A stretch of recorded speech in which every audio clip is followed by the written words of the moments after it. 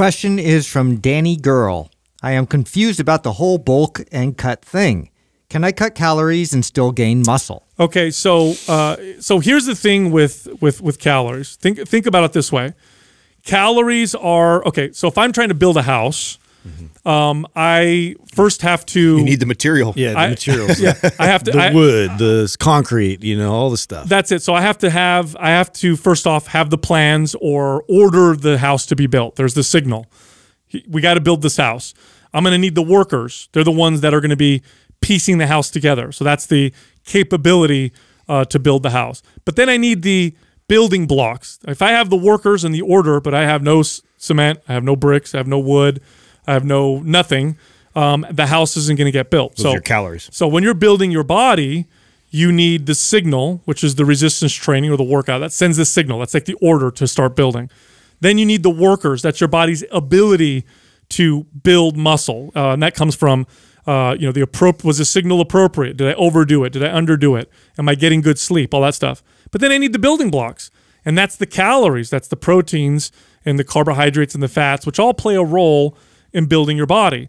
So if you're trying to build muscle, you probably are going to need more calories than you need to just stay the same.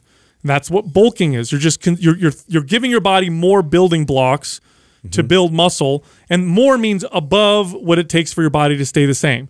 Now, is it possible to eat less calories and still build muscle? It, it is, but it's also very unlikely. But it is possible, and it's through what's called calorie repartitioning. So what that basically means is if my calories are low, my body's going to burn or take some building blocks from my body fat and then use that for building muscle or help that that's going to help the process. And we of see this muscle. most often if we do see it in newbies. Yeah. Yeah. Somebody who's never touched So weights. it's like the or- Goldilocks window. Right. You've never touched weights, or even if you're somebody who's trained before, but you haven't trained for the last six months to a year and you've been off, and then you get back in the gym.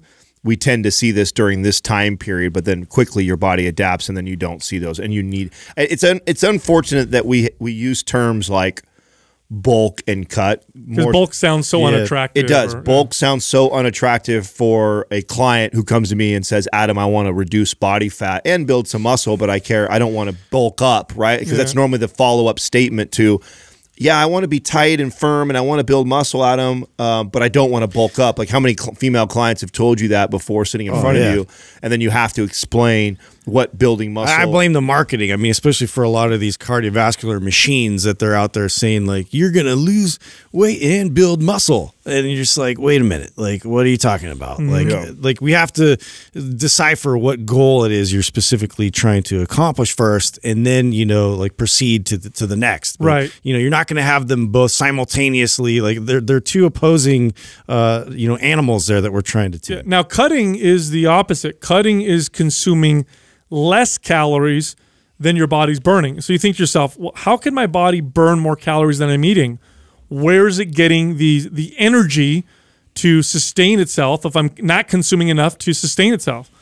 Well, your body gets it from its stored energy, which is your body fat. So your body will not go into its stores of body fat unless you're consuming less calories, uh, unless your body thinks it needs to. Unless you're consuming less calories than you're burning. If you're not doing that, if I'm consuming as many calories as I'm burning or more, It'll just use the calories. yeah, my body has no has no reason to go in. It's like it's like this. Look, if you're would you tap into your savings account if you're making weight you're making enough money to to sustain yourself? There's no need to tap into my bank account. I got cash in my wallet all the time. There's absolutely no need.